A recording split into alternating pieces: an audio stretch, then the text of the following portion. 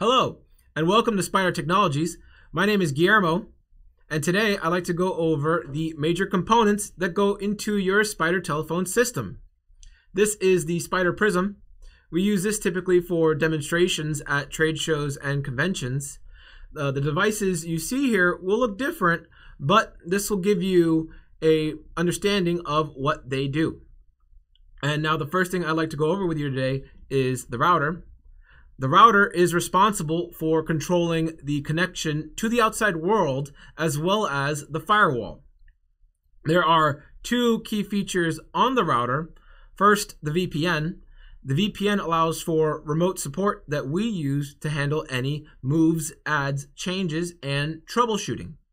And by not having to roll a truck, we can avoid any costly trip charges. You can also use the VPN for telecommuters. This will enable your people to work from home, allowing them to use their telephones and computers, as well as access file servers and printers as if they were in the building. The router's second feature is quality of service. This ensures your call quality by prioritizing voice over data. So if there are large file transfers, such as Windows updates or offsite backups, your call will not suffer or diminish. Uh, the network switch is up next. This interconnects all network devices in your building, such as your computers, printers, servers, security cameras, telephones, and the Spydur PBX. The network switch also provides centralized power distribution through power over Ethernet to all PoE enabled devices. Uh, your telephones will no longer need a power supply, just simply a network cable.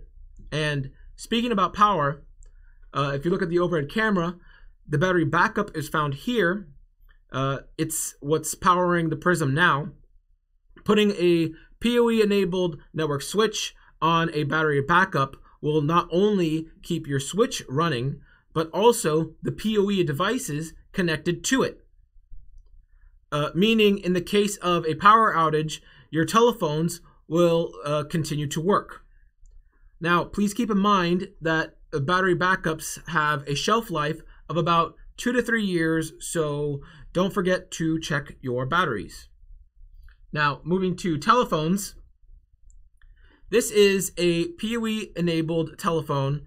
Uh, if you look back here, the network port connects to the PoE switch and powers the phone, like so. There is also a PC port that allows you to daisy chain work, your workstation or another network device. Uh, this eliminates the need for multiple cable drops, meaning you have a single network cable coming from the wall to the telephone and another network cable from the telephone to your workstation. Uh, next, we have a Wi-Fi phone. Uh, you can see it's powered on with only a power adapter and no other cables. Uh, it's wirelessly connected to the Spydur, and that's the Wi-Fi phone. You can also use DECT phones and old school analog phones. This means if you have a hotel with 100 guest rooms or a manufacturing facility with rugged phones spread across the floor, or remote phones in a large warehouse, they will continue to work just fine.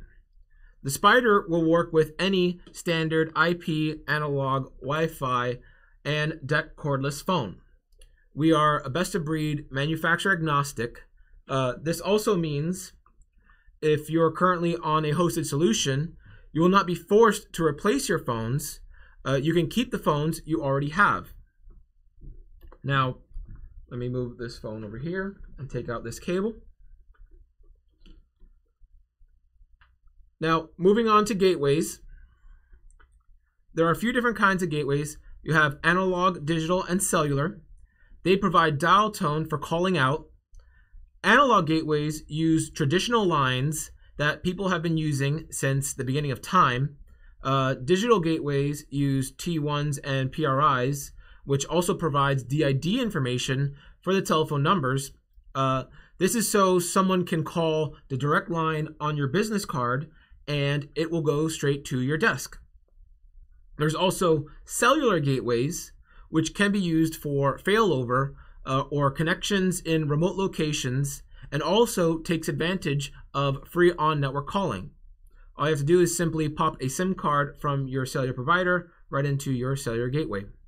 Now, you can also get dial tone without even using a gateway altogether uh, with a SIP trunk. A SIP trunk will do everything your digital lines can do, but using your internet connection. And this is voice over IP, and the Spydur will work with any provider. Now, saving the best for last is is the Spydur, which is the brain of it all. And let me get that in frame. The Spydur directs all calls in and out and provides your automated attendant, your uh, voicemail, your conferencing, your queues, and your ring groups, just to name a few. It also supports integrated applications such as CRM, CMS, billing, fax servers, and instant messaging. Uh, the Spydur will do as much or as little as you need. Now, I'd like to go over with you a call flow, and let me move the prism here as we transform. Okay, I think you can see everything. That looks good. All right, so I'm at my workstation. I pick up my phone. I'm dialing out. Call will go from the telephone to the network switch, and then from the network switch to the Spydur. The Spydur will then determine if your call is going to go through either a SIP trunk or one of the gateways I had already mentioned for you today. And that is a call flow. Now, I hope this gives you a good understanding of the major components that go into the Spydur PBX. Um, if you have any questions, please feel free to give us a contact. We'd love to help you out. Thank you and have a good day. Please remember to like, share, subscribe, and click the bell icon for notifications of new videos. Thank you from all of us at Spydur Technologies.